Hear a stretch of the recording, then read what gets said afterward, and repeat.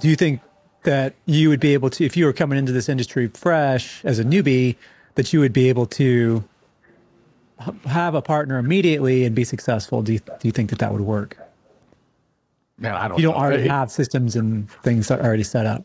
If you don't have a solid system set up in the beginning, I, I think it would be difficult. When you have a proven track record of success, you know, and you've shown that what you've done in the past has been successful, then you're. I mean, let's face it, we're all human. We we have things we want to do, things a certain way.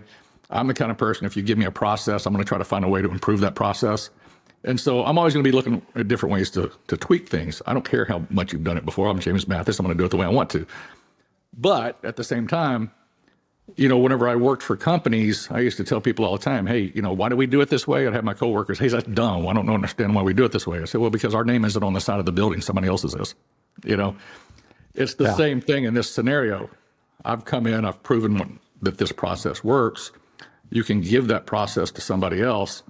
If they see there's some improvements that can be made, yes, they can voice that and you can incorporate that into what you're doing.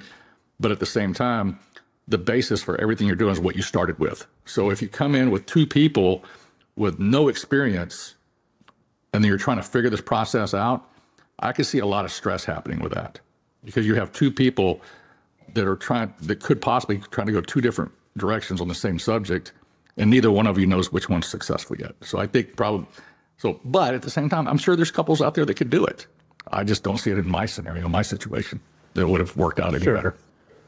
So all that said, kind of maybe like button all that up and and if you were going to give advice to somebody who's like, "Hey, we want to team up, but we're brand new," you know, what would their based on your experience, right? I mean, forgetting about exceptions and other people, like what would you tell people to do if they want to team up and they're new? So I would say,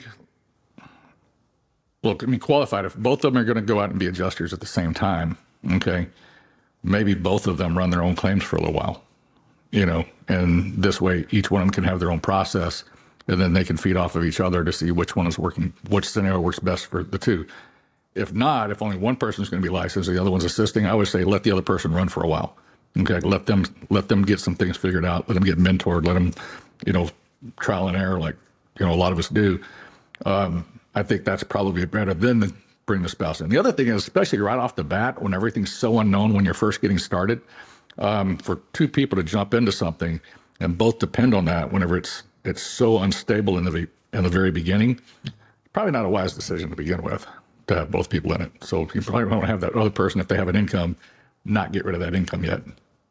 Because there was times in the beginning that, man, I'm glad Dawn had an income. you know, and uh, Right. it was it got it got hairy a few times. So, um, but I would I would definitely say one person go after it first, then bring the other person in.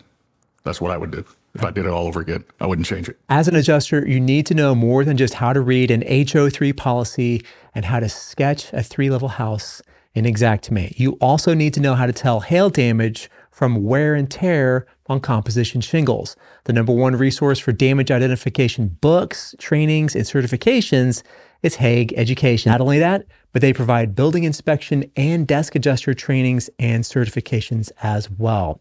These are the guys who make the classic Haag Damage ID books that I used for years to educate myself, my insureds, and quite a few roof sales guys on what is damage that we can pay for and everything else. Looking at you, bird poop. Get a discount on all books, tools, certifications, and other trainings with the code AdjusterTV at checkout at haageducation.com. You know what's boring?